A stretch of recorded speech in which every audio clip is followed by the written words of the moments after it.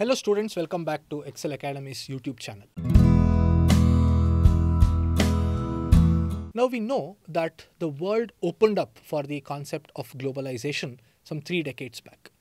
And one of the biggest changes that we are seeing because of globalization is companies from one country go and set up their businesses in other countries.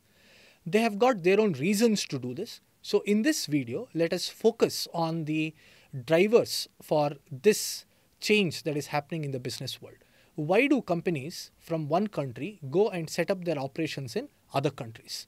And we shall discuss this in detail in the presentation that follows. Now, let us first see the definition of multinational corporations.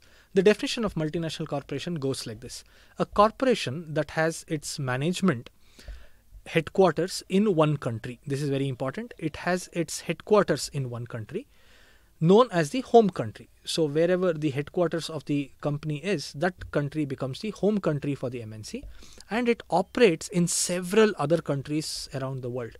So such businesses are called MNCs. The expansion is multinational corporations.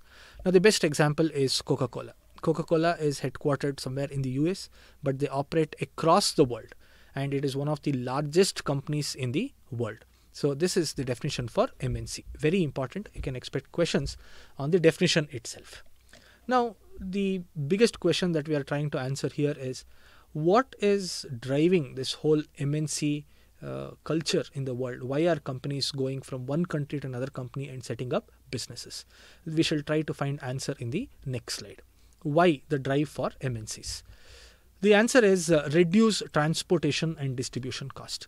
Instead of producing goods and services in one point of the world and trying to take it to the other point of the world, this saves a lot of money if the production unit is set up in the same place where there is need for the good or the service. So this helps in the reduction of transportation and it reduces the distribution cost.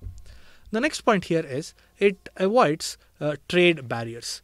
Now, what are trade barriers? Trade barriers are uh, the barriers which stop the companies from entering into a particular business or a country or a place or whatever it is. So, such barriers can be avoided if the businesses are set up in the home country itself. Next one is meet different rules and regulations. So there are different rules and regulations which can be met if the business is operated in the same place. Next one is uh, secures supply of raw materials or markets. Now, basically, businesses are in need of two things. Suppose this is the business, they are in need of the markets, they are also in need of the supply of raw material, or we can broadly classify, call it as resources. So, if a business is set up in a place where there is availability of the resources as well as the market, it is going to help the business in a big way. So this is the next reason why businesses or MNCs are set up across the world. Cost advantage. Example, low labor cost.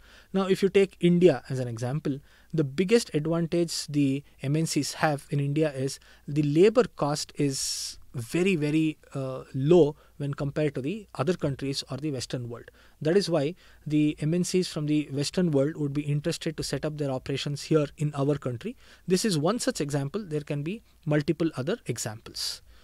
And the last point is economic growth and employment now, these companies will be able to achieve higher economic growth because they are able to tap bigger markets in different places of the world, and this also helps them to generate employment. Like we know, one of the objectives of business is personal uh, objective where they want to develop the human resource, improve their uh, living standard and life and other things. So it is going to help them in realizing that objectives. So these are the important factors which are driving the MNC's movement in the whole of the world. Hope you got some inputs or insight into the MNCs. If you have any doubts, please get back to us uh, with your doubts in the comment section. We shall answer your doubts. Thank you so much.